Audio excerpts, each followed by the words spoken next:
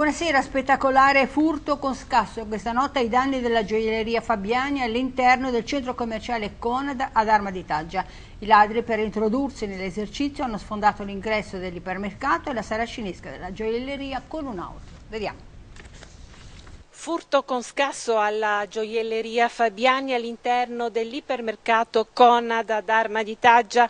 Un'auto, una BMW Serie 1, ha sfondato l'ingresso dell'ipermercato e dopo aver attraversato all'interno della struttura ha sfondato con l'auto la saracinesca. Sul caso stanno indagando i carabinieri. Stando ai primi rilievi svolti appunto dai carabinieri, la vettura ha sfondato uno degli ingressi laterali del centro commerciale e dopo aver scorazzato all'interno ha sfondato la saracinesca della gioielleria Fabiani, trafugando gioielli e preziosi per un importo ancora da valutare. L'auto che risulta rubata è stata poi abbandonata all'interno dello stesso supermercato. Pare che al momento del loro rocambolesco ingresso nella struttura al piano delle boutique i ladri hanno accelerato per distruggere la serranda dell'esercizio commerciale. I malviventi, una volta all'interno della gioielleria, hanno frantumato alcune vetrine. Sul posto per i rilievi del caso questa mattina sono intervenuti i carabinieri della stazione di Arma di Taggia, coordinati dal capitano Paolo di Alescandris. L'ingresso del centro commerciale è già stato riparato, la porta scorrevole è stata sostituita. Eccola qui la porta d'ingresso sfondata dai malviventi, è già stata rimossa e qui c'è quanto è stato danneggiato. Ora, al vaglio degli inquirenti, per l'esatta ricostruzione del furto con scasso, ci sono le immagini delle telecamere di videosorveglianza. I filmati sono a disposizione degli inquirenti. La vettura utilizzata dai ladri è stata posta sotto sequestro per essere esaminata. Ingenti i danni che ha subito la gioielleria. E proseguono le indagini delle forze dell'ordine in merito all'episodio che ha visto coinvolti alcune notti fa nell'entroterra imperiese due ragazzi ed una tredicenne che avrebbero consumato un rapporto.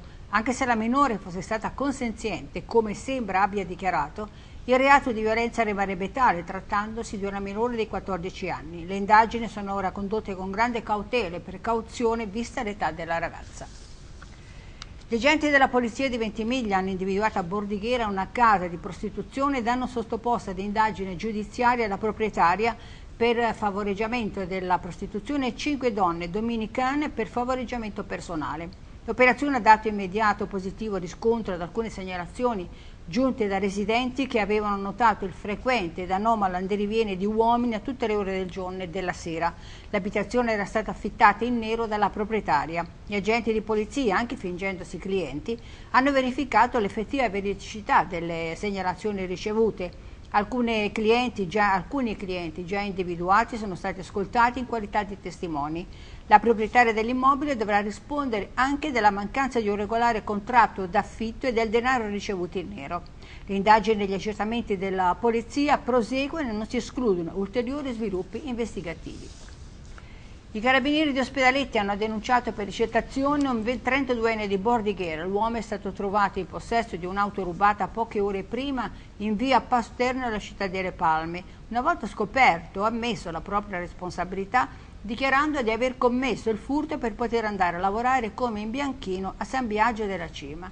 All'interno della vettura i militari hanno infatti ritrovato diversi pennelli e secchi utilizzati per svolgere il lavoro e sono stati trasportati in codice giallo al pronto soccorso dell'ospedale San Paolo di Savona gli occupanti di un'auto che si è cappottata lungo la via Aurelia Bergeggi. Sul posto sono intervenute automedica, due ambulanze della Croce Bianca di Spotone e della Croce Rossa di Vado, insieme ai vigili del fuoco di Savona. Nonostante la spettacolarità del sinistro, le persone che viaggiavano in auto non hanno fortunatamente riportato lesioni gravi. Voltiamo pagina, è partito anche in Liguria il dibattito interno dal centrodestra avviato a livello nazionale da Silvio Berlusconi sull'utilizzo o meno delle primarie per la scelta del candidato da presentare contro Matteo Renzi alle prossime elezioni politiche. Sulla questione infatti ora è intervenuto anche il presidente della regione Liguria, Giovanni Toni. Sentiamo.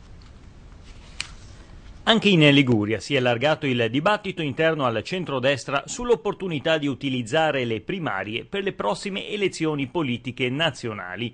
Tutto è nato da Silvio Berlusconi, che ha detto un secco no a questo strumento perché troppo facilmente manipolabile. Ora sulla questione è intervenuto anche il presidente della regione, Giovanni Totti, uomo di fiducia dell'ex premier. L'unità della coalizione di centrodestra è un bene essenziale per mandare a casa Renzi, ha detto il governatore Ligure, che giudica positivamente le primarie, ma solo se non si è trovato un accordo politico precedente tra le varie forze dell'alleanza. Una tempesta in un bicchiere d'acqua, nel senso che sulle primarie stiamo dicendo sostanzialmente la stessa cosa, forse con qualche, con qualche sensibilità appena diversa. Io non ho mai sostenuto che le primarie siano andate bene, anzi, come è noto qua in Liguria le primarie del PD sono andate particolarmente male. Credo che le primarie possano essere uno strumento, come si può dire, di appello o di cassazione, ove le forze politiche non trovino un accordo prima. È abbastanza evidente che se c'è un accordo su un candidato, ovunque questo candidato si debba presentare, questo candidato sarà lui, non è che si va in piazza a fare le primarie per fare esercizio ginnico, ma io credo che siccome l'unità della coalizione è comunque un bene essenziale per mandare a casa Renzi e che tutte le forze politiche si devono impegnare in questo senso, che ci debbano essere delle regole di ultima istanza ove un accordo politico non si, non si raggiunga per evitare di correre separati. Tutto qua.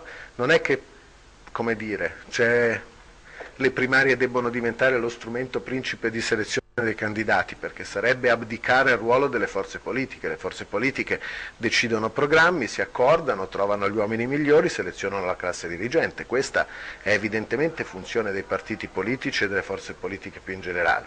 Dopodiché, siccome io credo che il centrodestra unito abbia dimostrato una capacità di eh, stare in campo e di vincere, come è successo in Veneto, come è successo in Liguria, come è successo in molti comuni, credo che si debbano trovare quegli strumenti e quelle regole per cui se c'è una controversia all'interno della coalizione si sana senza dividerci come purtroppo è successo nelle ultime regionali. Saranno 22 i comuni della provincia di Imperia che potranno usufruire dei servizi messi a disposizione della Regione per consentire la conversione dei piani regolatori in PUC. La Giunta regionale ha infatti stabilito di fornire assistenza tecnica ai comuni liguri più piccoli che a livello organizzativo ed economico avrebbero difficoltà ad aggiornare i propri piani urbanistici. Sentiamo sono state approvate dalla Giunta regionale su proposta dell'assessore all'urbanistica Marco Scaiola le linee guida per i comuni liguri per consentire la conversione dei piani regolatori in PUC, i piani urbanistici comunali, questo in modo più rapido e semplice. Si tratta della metodologia e del codice tecnico che potrà essere utilizzato da quei comuni che ritengono ancora valido il proprio PRG, ma che intendano adeguarlo e renderlo conforme alle normative ambientali e di difesa del suolo. Questo consentirà anche ai comuni liguri, grandi e piccoli, un considerevole risparmio di tempo e di risorse economiche, in quanto il piano regolatore viene recuperato, aggiornato e riutilizzato come PUC. Inoltre la Regione metterà a disposizione le sue strutture per fornire assistenza tecnica per effettuare tutta l'attività necessaria. Il Dipartimento Urbanistica della Regione Liguria sosterrà infatti i comuni più piccoli con risorse limitate, sia a livello economico sia di personale. Le strutture della pianificazione territoriale e dell'urbanistica della Regione potranno fornire assistenza tecnica mediante digitalizzazione informatica delle cartografie e aggiornamento delle informazioni territoriali, oltre alla redazione della normativa tecnica e assistenza per la formalizzazione degli atti deliberativi. I comuni liguri che potranno usufruire di questa opportunità sono complessivamente 113 di questi 87 sono di piccola e media dimensione, al di sotto dei 2.000 abitanti, di cui 22 in provincia di Imperia, 18 in provincia di Savona, 11 nella città metropolitana di Genova e 5 in provincia della Spezia. Diventerà operativo tra un mese il nuovo sistema decisionale per le allerte meteo che unificherà in capo all'ARPAR le previsioni ed anche le emissioni dell'allerta. L'obiettivo è quello di integrare al meglio le procedure e di arrivare ad una unificazione tra, tra centro meteo ARPAR e settore della protezione civile regionale. Sentiamo l'assessore alla protezione civile Giacomo Giampedrone. Assessore, in cosa consiste questo nuovo sistema decisionale per le allerte meteo che diventerà operativo entro breve? Abbiamo fatto un primo passaggio semplificativo nella gestione delle emergenze e delle allerte. Abbiamo stabilito che eh, ARPAL, che fa eh, ovviamente le previsioni meteo in vista dei temporali e quindi delle allerte successive, eh, dia anche l'indicazione di che tipo di allerta vada emesso. Dopodiché la protezione civile farà tutta la gestione della fase di allerta e della fase emergenziale. Abbiamo quindi eh, tolto quel passaggio che dava una discrezionalità alla protezione civile nell'interpretazione del bollettino meteo che ci arrivava da ARPA. Mi sembra un qualcosa che va nel senso migliorativo, nel senso semplificativo anche in vista di settembre quando attueremo poi il nuovo sistema di allertamento con i tre colori eh, sostituendo quello che oggi è la classica allerta 1 e allerta 2.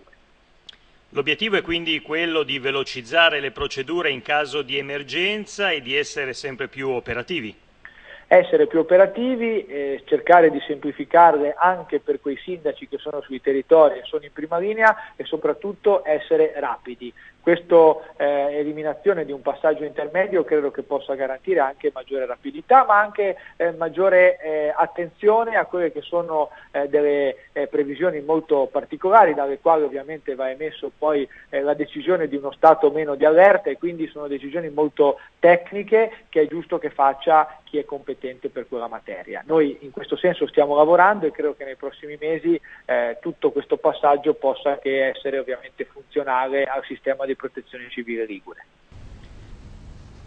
Come Ventimiglia, anche Sanremo si doterà delle tante temute ganasce che bloccano le ruote dei veicoli in sosta vietata, un modo per contrastare l'abitudine, specialmente degli automobilisti indisciplinati provenienti dalla Francia, di non pagare le multe approfittando proprio del fatto di essere stranieri. Sentiamo. Basta i furbetti delle multe, che specialmente quelli provenienti dalla vicina Francia non danno peso alle sanzioni ricevute, perché tanto non le pagano. La procedura per richiederne il rispetto è infatti complicata e quindi il rischio delle multe non è considerato un valido deterrente contro i trasgressori delle regole del codice della strada, in particolare per quel che riguarda i parcheggi. Ora però tutto questo cambierà, specialmente a Sanremo e a Ventimiglia, dove sono in arrivo le tanto temute ganasce.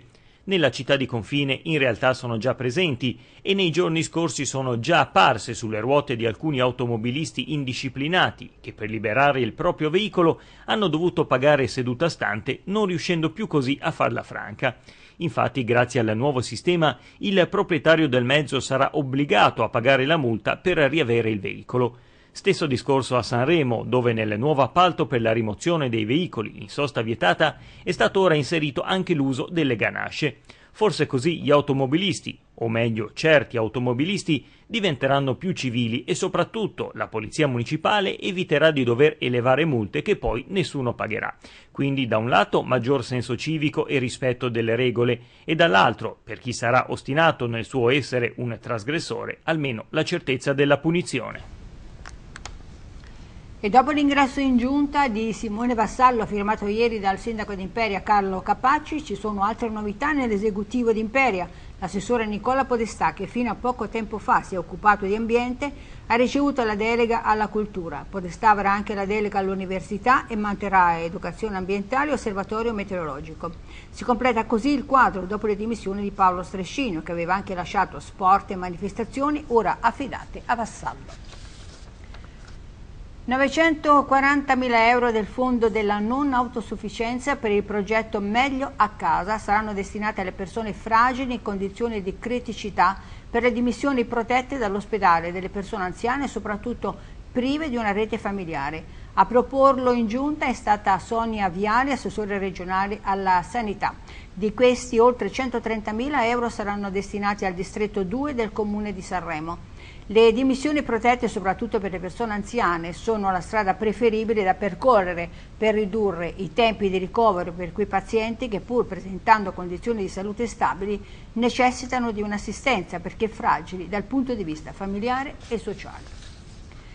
Diminuire le fermate sulla linea Pisa-Firenze-Roma per velocizzare il collegamento ferroviario tra la Liguria e la capitale. Sarà questa la richiesta dell'assessore regionale allo sviluppo economico Edoardo Rixi e ai trasporti Gianni Berrino alla Regione Toscana per consentire almeno un collegamento al mattino ed uno alla sera con un tempo di percorrenza di tre ore e un quarto.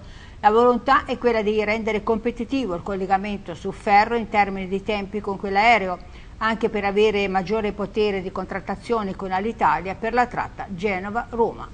Facciamo una breve pausa, ci sentiamo subito dopo.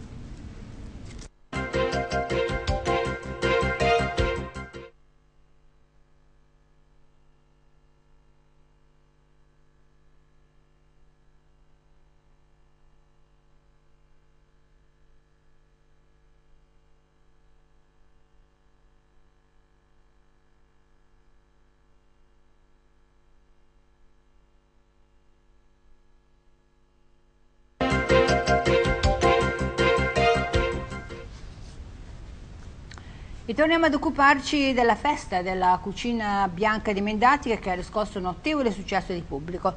Alla manifestazione sono intervenuti anche il vicepresidente della regione Sonia Viale, il consigliere regionale Alessandro Piana e il presidente della provincia di Imperia Fulvio Natta. Sentiamo. Ancora una volta incontriamo in queste feste dei nostri paesi, consigliere regionale Alessandro Piana, un affezionato al territorio, potremmo dire, che è un territorio che offre sempre spunti eh, di festa ma anche di, di turismo sicuramente. Sì, eh, come dicevi bene tu, eh, sono un affezionato e non potrebbe essere altrimenti. Già in passato sono venuto diverse volte, anche con tempi peggiori di, di, quello di oggi, perché oggi tutto sommato si sta anche bene, si gode finalmente un po' di fresco, noi che siamo eh, gente della costa, eh, trovarci oggi qua è una, intanto una bella manifestazione, sempre, ogni anno sempre più riuscita e lo dimostra il numero di partecipanti e poi è un piacere perché ci si ritrova eh, vecchi amici, nuovi amici e si ritrovano anche quelle tradizioni e quelle...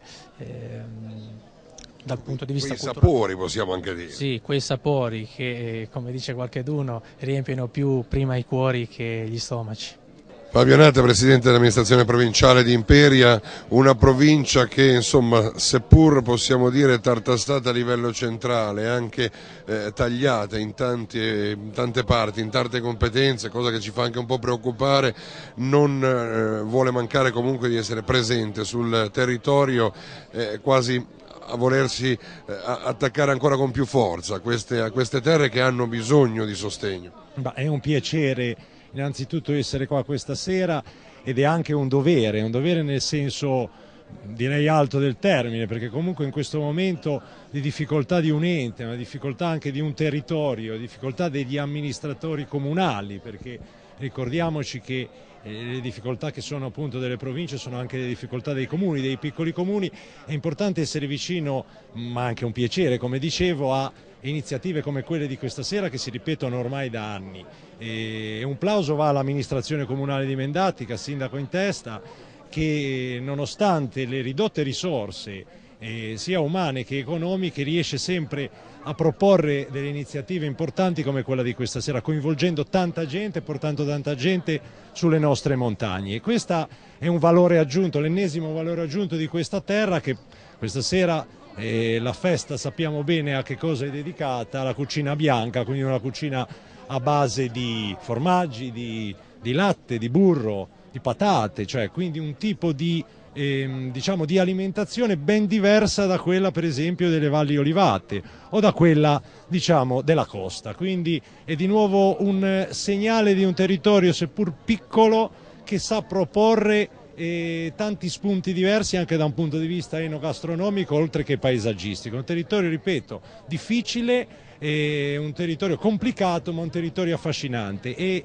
coloro che come gli amministratori di Mendatica, dei piccoli comuni in generale, fanno una fatica incredibile per eh, valorizzarlo eh, questo territorio, meritano di essere assistiti in qualsiasi modo e anche solo da un punto di vista diciamo, di una presenza fisica che comunque vuole avere un significato che va al di là appunto della presenza stessa.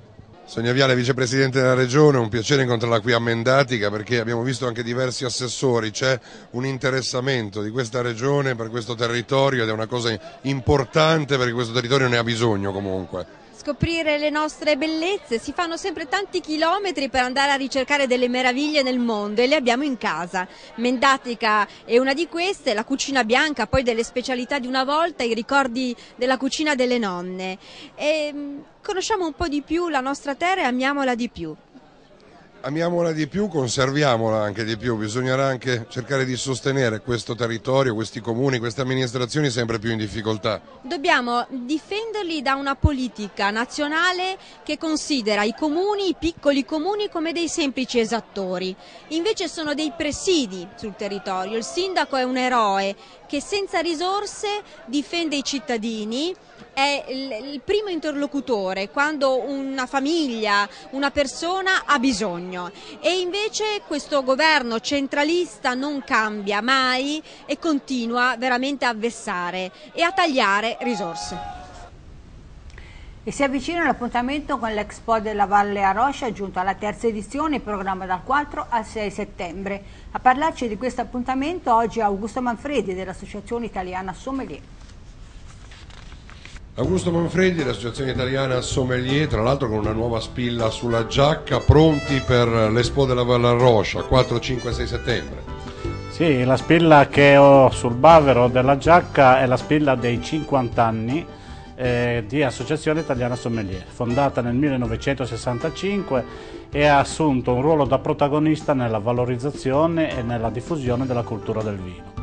Ovviamente se abbiamo sempre collaborato con l'Expo della Valle Arroscia, eh, Valle Arroscia che presenta dei prodotti di nicchia, prodotti di eh, alta qualità, soprattutto nei, ovviamente nei vini, e durante questa Expo, eh, verso l'ora di cena, e quindi con la cena verranno proposti piatti tipici e abbinati con i nostri vini e quindi voi seguirete diciamo, eh, il pubblico, gli appassionati per consigliare anche il vino migliore, saranno vini tutti allo stesso prezzo, quindi messi in parità diciamo, ovviamente ognuno con le sue differenze però. Certamente, queste piccole differenze che eh, verranno sicuramente illustrate e queste piccole differenze che faranno preferire un piatto ad un altro quindi soprattutto l'abbinamento giusto tra piatto e vino. Certamente, l'abbinamento che è il, diciamo, il, la somma di tutta la conoscenza eh, sulla degustazione del vino e ovviamente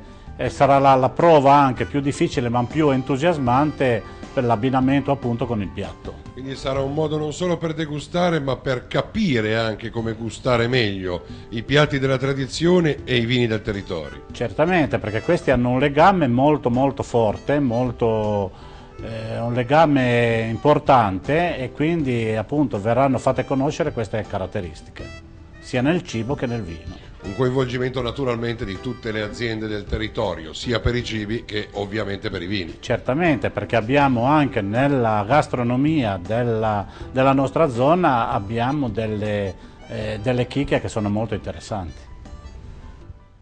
Dal 4 al 6 settembre a Pieve di Teco, terza edizione dell'Expo della Valle Arroscia. I piatti della tradizione si incontrano con i vini del territorio.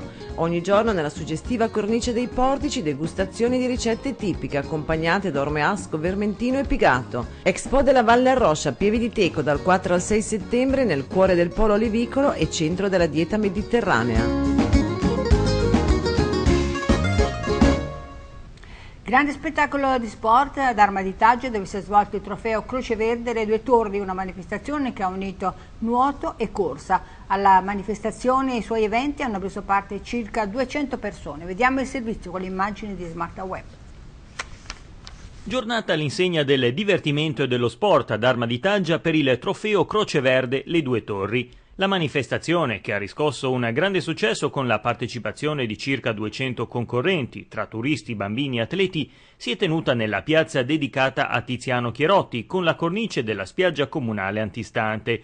La giornata è iniziata alle dieci e mezza con la partenza del miglio marino, una competizione di nuoto in mare della distanza di un miglio, ovvero quasi due chilometri, alla quale hanno partecipato 60 atleti, partendo dalla spiaggia dell'Arma Pesca e percorrendo avanti e indietro tutto il litorale della spiaggia di Arma. Il pomeriggio dedicato ai bambini con baby dance, animazione e la Baby Beach Marathon, una maratona esclusiva per i più piccoli, divisi per fasce di età, che si è svolta interamente sulla sabbia. Alle 18.30 si è dato inizio al trofeo vero e proprio Le Due Torri, Nuota e Corri, una competizione molto particolare di nuoto e corsa alternata dove hanno partecipato più di 60 atleti che si sono cimentati in questo biathlon. La gara prevedeva infatti 300 metri di nuoto e 3 km di corsa e poi nuovamente 300 metri di nuovo e altri 3 km di corsa. Un'attività per veri amanti dello sport, insomma. La giornata si è conclusa con la premiazione dei primi tre uomini e delle prime tre donne dell'individuale, oltre alla staffetta coppie. In campo maschile la vittoria è andata a Daniel Polizzi, mentre Vittoria Bergamini ha trionfato tra le donne. La classifica della staffetta è stata invece conquistata dalla coppia Lucchetta-Figaroli. Alla competizione hanno partecipato anche il presidente dell'associazione Arma Pesca, Fabrizio Daldi, ed il delegato allo sport del comune di Taggia, Mirko Praticò. Nel contesto della manifestazione si è tenuta, come evento collaterale, anche la gara di castelli di sabbia realizzati nelle diverse spiagge del litorale. La manifestazione, che ha quindi unito gioco, sport e mare, è stata organizzata dalla Croce Verde di Arma di Taggia e patrocinata dal Comune di Taggia ed Area 24, con la collaborazione dell'Associazione Arma Pesca degli stabilimenti balneari di Arma e dell'Associazione Running Free Arma Taggia. Domani alle 12.30 nella sala giunta di Palazzo Bellevue a Sanremo il sindaco Alberto Biancheri consegnerà una targa a Loris Revelli per il suo successo internazionale juniores nel, nel Dunwell. Loris, 17 anni di Sanremo, ha raggiunto un risultato storico perché mai prima d'ora un italiano aveva conquistato la vittoria in una prova di Coppa del Mondo tra gli juniores. Appuntamento conclusivo per la rassegna Libri e scrittori sotto le stelle promossa dal comune di Perinaldo. Domani alle 21.15 nella sala comunale l'autore imperiese Ugo Moriano presenterà il suo ultimo romanzo Antiche amicizie e indagini sotto il sole di Diano. Si tratta di un giallo costruito con estrema eleganza e abilità nel sapere inanellare gli eventi tra flashback del passato e indagini presenti. L'ingresso è libero. Veniamo alle nostre programmazioni, questa sera alle 21.30 la nuova puntata di Punto d'incontro sarà dedicata al mondo del triathlon. A parlarci di questo particolare sport saranno in studio il presidente di Riviera Triathlon Danilo Moraglia, la giovane promessa Vittoria Bergamini e Maurizio De Benedetti, campione del mondo universitario del 1992. Domani la festa della cucina bianca di Mendatica sarà invece protagonista della trasmissione a tutto ponente in onda alle 21 ed in replica giovedì alle 14.10. Queste come tutte le trasmissioni, i servizi e gli speciali sono poi anche scaricabili nel nostro sito imperatv.it. Bene, ora ci occupiamo dell'autofiori, poi del quadro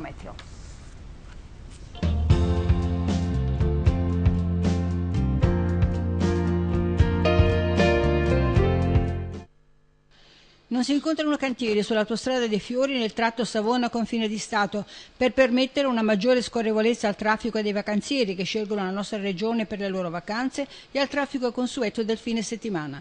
Chi si mette in viaggio può avere informazioni utili attraverso i pannelli a messaggio variabile dislocati su tutto il percorso e che segnalano in tempo reale eventuali ostacoli alla circolazione. Ricordiamo che l'Autofiori dispone di personale di pattugliamento e di pronto intervento che opera in sinergia con la Polizia Stradale durante tutta tutte le 24 ore giornaliere per la gestione di ogni tipo di emergenza. A chi si mette in viaggio si raccomanda comunque la massima attenzione e prudenza.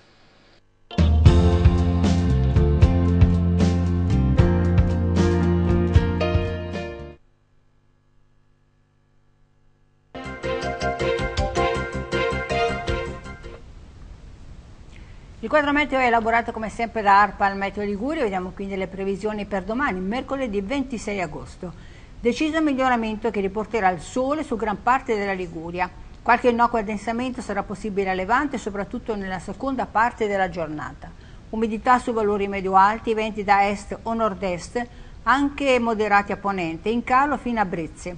Il mare è molto mosso a levante, mosso a ponente in rapido calo, fino a poco mosso.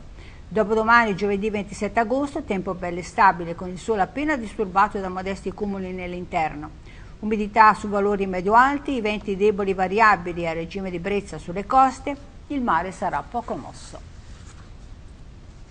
Ed è tutto, grazie come sempre per la vostra attenzione, l'appuntamento alle prossime edizioni, se volete sul nostro sito imperitv.it. Grazie ancora, buona serata.